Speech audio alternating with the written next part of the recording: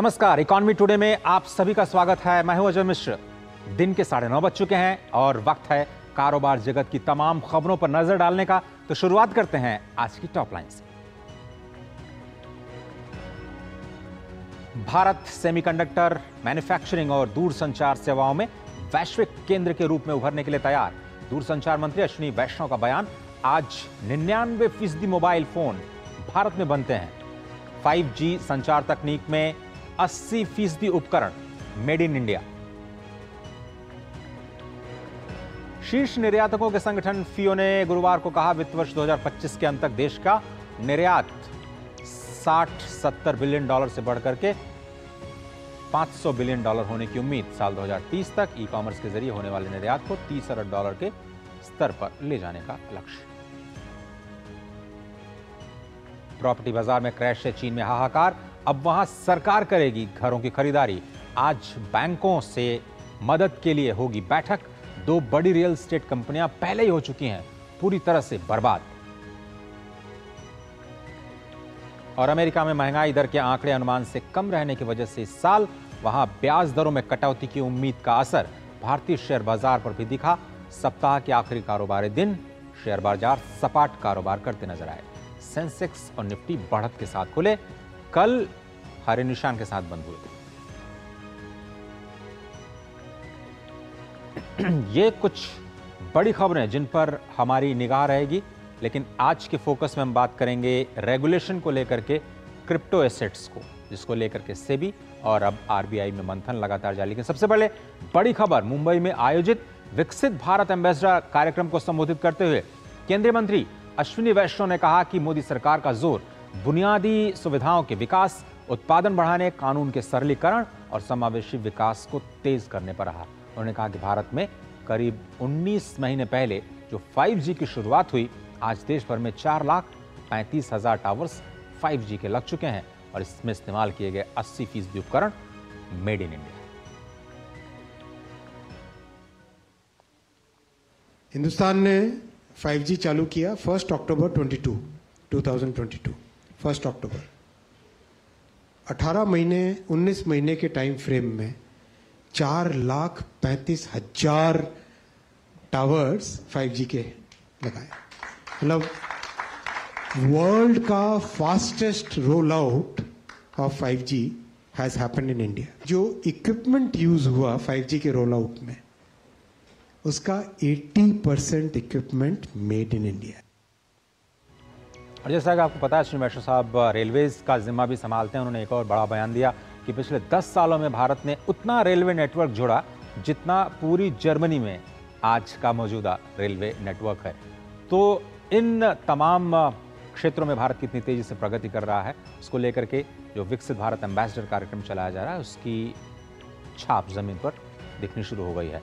एक और बड़ी खबर अर्थव्यवस्था को ही लेकर के, जो भारतीय अर्थव्यवस्था की तेज रफ्तार है, उसको देखते हुए देश और दुनिया की ज़्यादातर रेटिंग एजेंसियाँ और अर्थशास्त्रियों ने अब ग्रोथ के अनुमानों को बदलाव किया है। भारतीय अर्थव्यवस्था को लेकर के प्रधानमंत्री के आर्थिक सलाहकार परिषद पीएमईएसी के सदस्य संजीव सान्याल ने कहा है कि भारत 2024-25 तक 4000 अरब डॉलर की अर्थव्यवस्था हो सकता है और अगले वित्त वर्ष की शुरुआत में जापान को पीछे छोड़ते हुए दुनिया की चौथी सबसे बड़ी अर्थव्यवस्था बन जाएगी।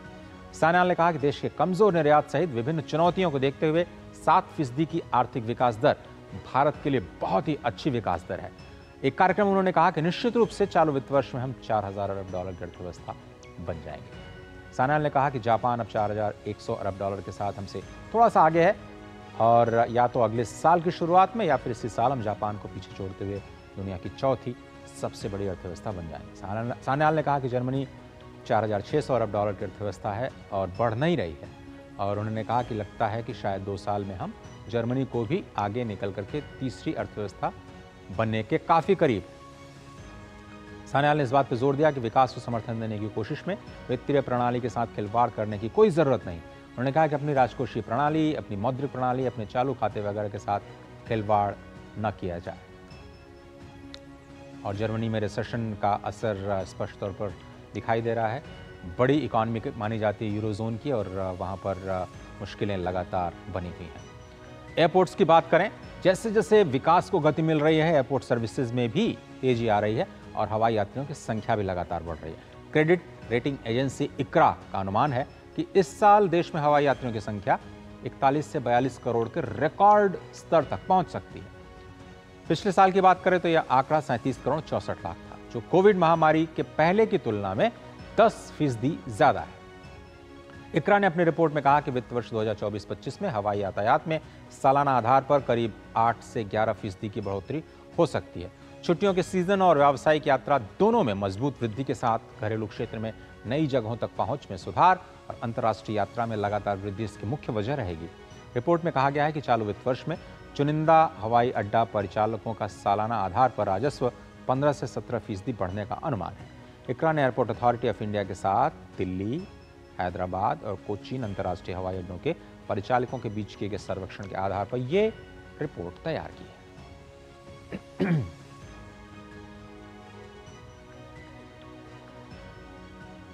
और अब शेयर बाजारों का हाल देखते हैं। आज गिफ्ट निफ्टी की शुरुआत किस तरह से हुई? अमेरिकी बाजारों में जो असर है उसका आ, उसका इम्पैक्ट दुनिया दुनिया भर के बाज़ार हैं उन पर पड़ा है। गिफ्ट निफ्टी आज सत्ताईस अंक नीचे नज़र आया, बाईस हज़ार चार सौ तैंतालीस का। ये कुछ समय पहले के आंकड़े आपकी स्क्रीन पर। अब देखते हैं सेंसेक्स और निफ्टी की शुरुआत कैसे हुई। सैंतालीस अंकों पर सेंसेक्स ओपन होता हुआ तिहत्तर हज़ार सात सौ ग्यारह का स्तर आज दिखाई दिया। निफ्टी की ओपनिंग भी पॉजिटिव टेरिटरी के बजाय नेगेटिव टेरिटरी में हुई। बाईस अंक नीचे, बाईस हज़ार तीन सौ इक्यासी का टॉप गेनर्स आपके लिए लाते हैं, जहाँ पर आज फ़ायदा हो रहा है। उन शेयर्स की बात करें, महिंद्रा एंड महिंद्रा छः फ़ीसदी ऊपर, टाटा मोटर्स एक दशमलव दो फ़ीसदी क्रासिम एक दशमलव एक, बीपीसीएल और टाटा स्टील में भी बढ़त दिखाई दे रही है। जहाँ पर नुकसान है, उन शेयर्स की बात करें आज के शुरुआती कारोबार में तो S life, Axis Bank, Sun Pharma, Adani Ports और इंडस्ट्रिंड बैंक करीब पौने फ़ीसदी से एक फ़ीसदी के बीच गिरते हुए नज़र आए। ग्लोबल मार्केट अपडेट्स में आपको बताते हैं अमेरिकी बाज़ारों का हाल, वायदा बाज़ारों में किस तरह से कारोबार हो रहा है। अमेरिका में उस पर दिखाएँगे और साथ ही साथ बताएँगे आपको एशियन मार्केट का हाल। देखते हैं। अमेरिकी बाज़ारों में आज गिरावट का रुख, डाउ जोन्स फ्यूचर्स अट्ठाईस अंक नीचे S and P five hundred ग्यारह और नेस्टैक चौवालीस अंक नीचे नज़र आ रहा है। फेड के कॉशियस अप्रोच की वजह से ये गिरावट नज़र आई और आज एशियाई बाज़ारों में गिरावट गहराती हुई नज़र आ रही है, जिसका असर भारत पर भी दिख रहा है। जापान में गिरावट एक अंकों की, हांगकांग के एंगशैंग में 25 अंक ऑस्पी भी पच्चीस अंक नीचे कारोबार करता नज़र आया। आज के सुबह, एशियाई बाजारों में कारोबार का यह आंकड़ा, जो ब्रेंड क्रूड है, तिरासी डॉलर बयालीस सेंट्स प्रति बैरल के स्तर पर बना हुआ। छोटा सा ब्रेक लेते हैं। ब्रेक के उस पार दो महत्वपूर्ण खबरें, इंडियन ट्रेड के बारे में और क्रिप्टो करेंसी पर क्या है रेगुलेशन की दिशा। कहीं मत जाइए, आप देख रहे हैं economy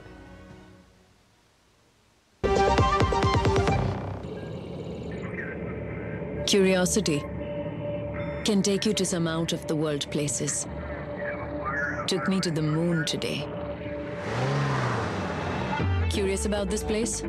Scan this QR code before I take it off with my Seat tires.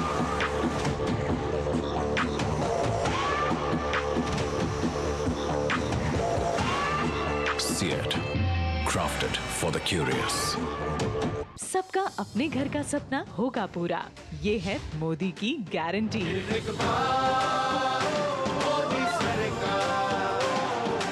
Shukla बता रहा था आपके बाबूजी ने जायदाद का कुछ हिस्सा नौकर के नाम कर दिया अब नौकर हर काम अपना घर समझ के करेगा। समरकूल जो हर दिल करे कबूल।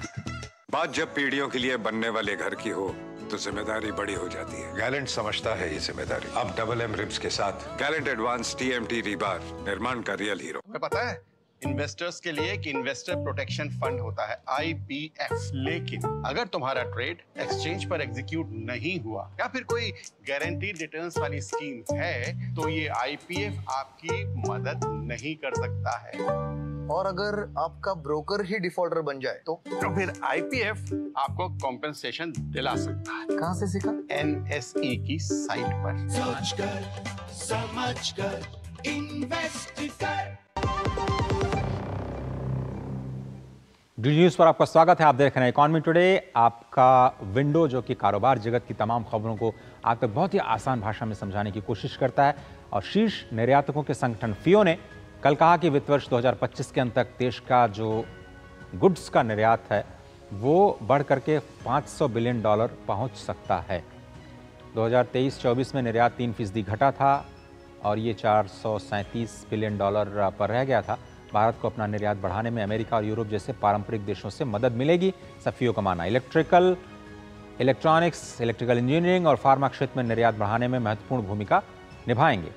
हालाँकि श्रम आधारित क्षेत्र जैसे कि कपड़ा, फुटवेयर, जेम्स एंड ज्वेलरी के प्रदर्शन को लेकर के उन्होंने कहा कि 2030 तक ई कॉमर्स के माध्यम से 300 अरब डॉलर तक का निर्यात बढ़ने की संभावना है।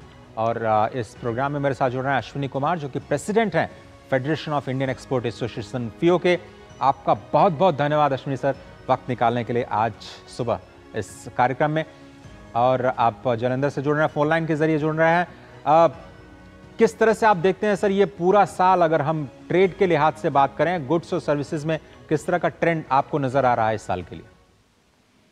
देखिए गुड्स एंड सर्विसेज़ में जो इंडियन एक्सपोर्ट का है ये आप देखोगे 2017-18 से 2023-24 से 478 बिलियन से लेके अब 778 बिलियन जो है कंपाउंड एवरेज जो चल रहा है और जिसका ग्रोथ है 8.5 percent ji despite of global headwinds and COVID, we are looking at ambitious target of 2 trillion US dollar for export by 2030 mm-hmm.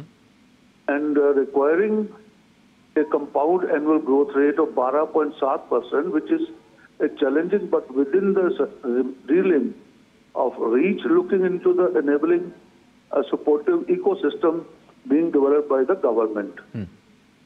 और इसमें आगे जो हमारा जैसे आपने बताया जो सनराइज सेक्टर है हमारा mainly exports machinery electrical electronics automobile pharma biotechnology इसमें हमारा को we will get further push जो product link incentive related sector हैं uh, उसके लिए बहुत बड़ा पुश मिलेगा इसको। हम्म। पिछले चार साल में our export growth in all about sectors outpace global import growth as दस our share through modest improve globally machinery sector experience the compound annual growth rate of चार percent during twenty nine two zero one nine and two zero twenty two whereas India का जो showcase and more river सात percent इस sector में हुआ है। Okay sir sir लेकिन जो लेबर इंटेंसिव सेक्टर्स हैं उनमें भी फोकस करने की ज़रूरत है और वो हमारा स्ट्रांग फुटिंग है जिसमें बहुत सारे लोग एम्प्लॉय एम्प्लॉयमेंट होते हैं। उनको फोकस करते हुए हमें क्या करना पड़ेगा? क्योंकि वहाँ भी प्रोटेक्शन करना लेबर फोर्स का तो बहुत ज़रूरी है। ये देखिए we have to make some changes in the labour law अभी आप देखिए एक्सपोर्ट्स जो knitted and woven garments, made up footwear, gem and jewelry, in which uh, we lost the market to our competitor in knitted garment sector. India added 200 million to its exports during calendar year 29, 19 and 22. Whereas the same period, Bangladesh added US dollar 10 billion hmm. in the export of footwear sector, while the global imports grew by 5%. Our export contract, Bangladesh export grew by 750 million. जी जी. In the same period. So we need to have some changes in our existing labor laws. उसमें we have to grow and in this sector if we will not make some changes ये और decline में आ जाएगा जी Ashwini sir आ, मेरा अंतिम सवाल आपसे यह है कि क्या अब हम डाइवर्सिफाई कर सकते हैं इन टर्म्स ऑफ़ रीजन्स जहाँ हम एक्सपोर्ट करते हैं। और जो अभी हमने हाल ही में एफ़ की है उसका सकारात्मक असर दिखाई दे रहा है इकॉनमी पे। वो कौन से नए मार्केट्स हैं जहाँ आपको लगता है कि इंडियन गुड्स इंडियन सर्विसेज़ की मांग एक्सपोर्ट्स के लिहाज से ज़्यादा बढ़ सकती है? मे, मेरे हिसाब से जो मैक्सिमम डिमांड बढ़ेगी एक्सपोर्ट गुड्स एंड सर्विसेज़ वो यूएस मार्केट है और यूरोप में आएगा। इसके लिए थोड़ा सा श्रम करना पड़ेगा। और इंडिया की एक्सेप्टेबिलिटी इस वक्त इतनी ज़्यादा हो रही है। बहुत सारी कंपनियाँ जो यूएस में यूएस में काम करती हैं they have office in China and all वो उनका अब ट्रेंड इंडिया की तरफ़ बहुत झुक रहा है। बहुत सारी बड़ी कंपनियाँ जो इंडिया को आने को तैयार है for development of their products Ashwini sir बहुत धन्यवाद आपने वक्त निकाला और प्रोडक्ट डाइवर्सिफिकेशन के साथ साथ हमें। जो एरिया है उसका भी डाइवर्सिफिकेशन करना पड़ेगा। शुक्रिया और बधाई आपको। फीओ की जो अगुवाई आपने इस साल के लिए संभाली उसके लिए। और अब बात करते हैं आज के फोकस की।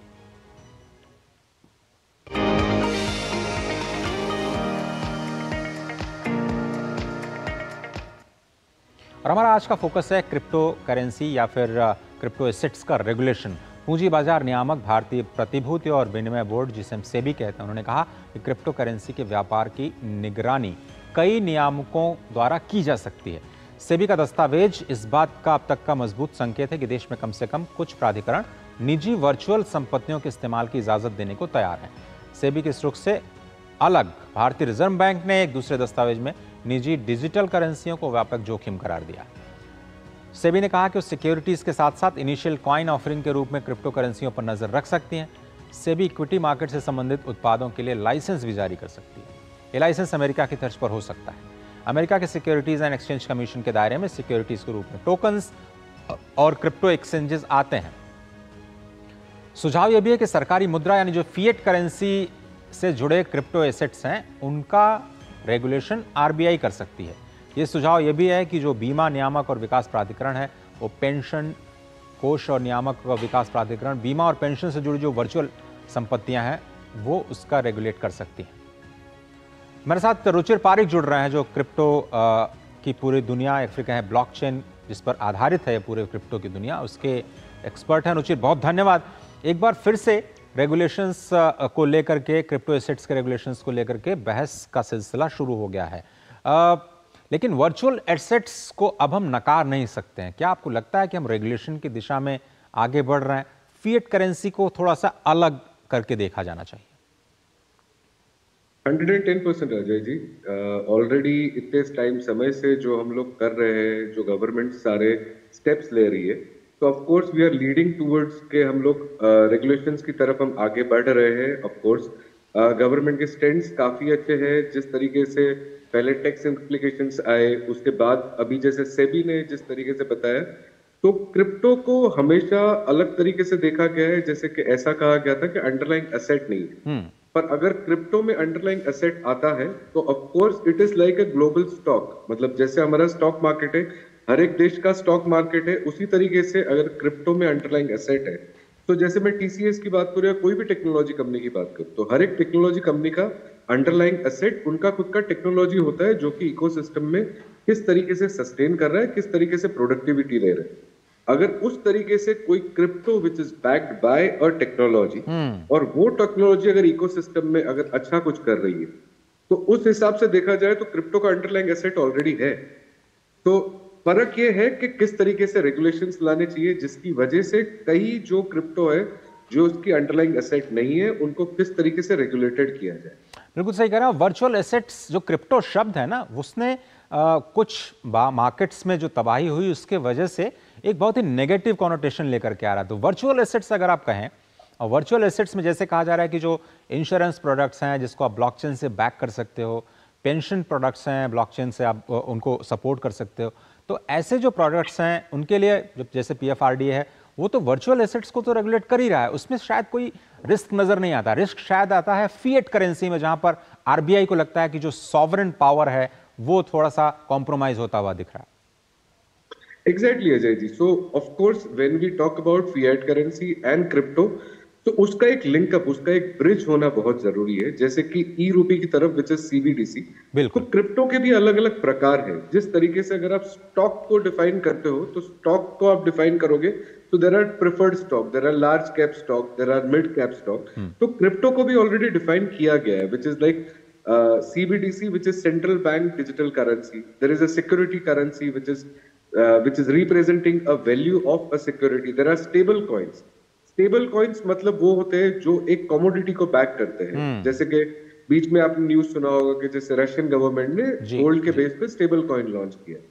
उसी तरीके से सिक्योरिटी टोकन्स भी है। सो क्रिप्टो के भी काफ़ी प्रकार है। अगर उसको सिक्योरिटी के साथ जोड़ा जाए और अगर उसका गवर्निंग मेरे हिसाब से according to my point of view अगर ई रूपी के ज़रिए करा जाए कि जैसे कि अभी अगर आप दूसरे कंट्रीज़ की बात करते हो तो काफ़ी सारी जगह पे यूएसडीटी के थ्रू ही आप क्रिप्टो को रजिस्टर्ड कर सकते हो जिसको स्वैपिंग बोलते हैं इनिशियल स्वैपिंग तो वो अगर ई रूपी के थ्रू होता है एफ़ ऑलरेडी आ चुका है तो F I has already taken step and they have provided the regulations for the crypto exchanges और आई गेस बहुत सारे क्रिप्टो एक्सचेंजेस ऑलरेडी इंडिया में रजिस्टर्ड हो सक हो चुके हैं including Binance I guess total number is 29 28 और 29 तो regulations करना ज़रूरी है of course because when we talk about a country of course we are concerned with the people Hmm, and people's money. So regulation ज़रूरी है तो RBI गलत नहीं है आरबीआई का मुद्दा है मैक्रो इकोनॉमी हाँ जी रुचि जी बिल्कुल उसी से सवाल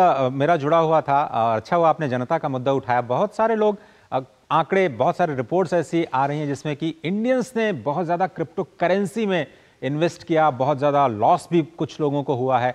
जो हम लोग ऑफ़ रिकॉर्ड बातें करते रहते हैं, हालाँकि इसका कोई आधिकारिक आंकड़ा तो हमारे पास नहीं है, लेकिन फिर भी ऐसे ऐसे लोगों को अवेयर कैसे किया जाए? इस तरह के जो जोखिम है जिनसे कुछ लोग तो बहुत पैसे बना रहे हैं और कुछ लोग पैसे बहुत ज़्यादा डुबो रहे हैं। ये जो वॉलिटिलिटी है, वित्त मंत्री ने भी चिंता जताई कि भाई कम से कम जो हार्ड अर्न मनी है हाउस होल्ड्स की, अब वो मार्केट में आ रही है तो कम से कम मार्केट में ही उनको प्रोटेक्ट किया जाए। क्रिप्टो तो थोड़ी सी दूर की बात है। तो वो कैसे किया जाएगा? अवेयरनेस वाली बात। सर अवेयरनेस का बहुत सिंपल है. It is like more regulations will come क्योंकि ये मैंने पहले भी एक टॉक शो में मैं यही सेम चीज़ बता चुका हूँ. जैसे जैसे रेगुलेशंस आते हैं, एक आम जनता की अगर हम बात करते हैं, जिसमें मैं, आप, हम सब आ जाते हैं. जब तक रेगुलेशन नहीं आते, हम कोई चीज़ के बारे में बहुत स्पेसिफिकली सोचने का एक प्रयत्न नहीं करते हैं. जब हम प्रयत्न की बात करते हैं रेगुलेशंस के बारे में सोचने का तब आप वो इंडस्ट्री में जाके देखोगे that what this industry is all about और जितना लोग इसको समझेंगे तब पता चलेगा and sir India is evolving पहले ये एक इंडिया ऐसा था जिसमें लोग ऐसा पूछते थे कि क्रिप्टो का रेट फाइव रुपीज़ का फिफ्टी रुपीज़ के होगा कि नहीं होगा? अभी लोग ऐसा पूछते हैं फाइव रुपीज़ का फिफ्टी रुपीज़ क्यों होगा?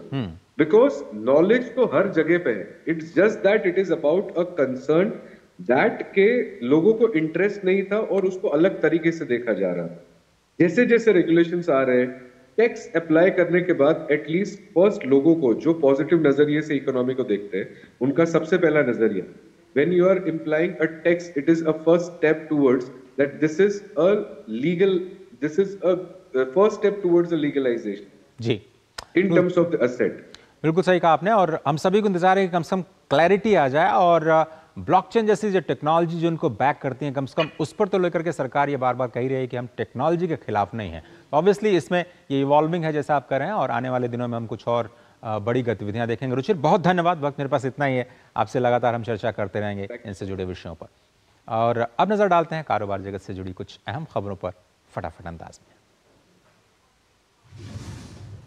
महिंद्रा समूह के अगले तीन साल में सैंतीस हज़ार करोड़ रुपए की निवेश करने की योजना है, जिसका बड़ा हिस्सा वाहन खंड को जाएगा। कंपनी की योजना वर्ष 2030 तक पारंपरिक इंजन आईसीई वाले नौ एसयूवी सात इलेक्ट्रिक वाहन और सात हल्के वाणिज्यिक वाहन पेश करने की है। इस दौरान पेश किए जाने वाले नौ आईसीई एसयूवी में छह एकदम नए मॉडल होंगे, जबकि तीन मौजूदा मॉडल के उन्नत संस्करण होंगे। कंपनी नए मॉडल पेश करने के साथ साथ मौजूदा मॉडलों के उन्नत संस्करण लाने पर आईसीई खंड में चौदह करोड़ रुपए का निवेश करेगी। ईवी खंड में भी कंपनी बारह करोड़ रुपए का निवेश करेगी। इसके अलावा कंपनी कृषि और सेवा कारोबार में भी पाँच हज़ार करोड़ रुपए का निवेश करेगी। सरकारी स्वामित्व वाली gas company GAIL India limited ने प्राकृतिक गैस ट्रांसमिशन और पेट्रोकेमिकल व्यवसाय में बदलाव के बाद अपने चौथी तिमाही के शुद्ध लाभ में तीन गुना से अधिक की वृद्धि दर्ज की। प्राकृतिक गैस विपणन से कमाई जनवरी मार्च 2024 से बढ़कर 1390 करोड़ रुपए हो गई, जो एक साल पहले चार करोड़ रुपए थी। 2023-24 वित्तीय वर्ष के लिए गेल ने एक लाख करोड़ रुपए के राजस्व पर आठ करोड़ रुपए का शुद्ध लाभ दर्ज किया। यह पिछले 2022-23 वित्तीय वर्ष में एक लाख रुपए के राजस्व पर पाँच करोड़ रुपए के लाभ से अधिक था। सरकार ने मधुमेह, हृदय और लीवर जैसी बीमारियों के इलाज के लिए आमतौर पर इस्तेमाल होने वाली 41 दवाओं और 6 फॉर्मुलेशन की कीमतें कम कर दी हैं। यह निर्णय एनपीपीए की 143वीं बैठक में लिया गया, ताकि सुनिश्चित किया जा सके कि आवश्यक दवाओं की कीमत जनता के लिए सस्ती रहे। फार्मास्यूटिकल विभाग और राष्ट्रीय फार्मास्यूटिकल मूल्य निर्धारण प्राधिकरण द्वारा जारी एक अधिसूचना के मुताबिक एंटासिड मल्टीविटामिन और एंटीबायोटिक्स उन दवाओं में से हैं जो सस्ती हो जाएँगी।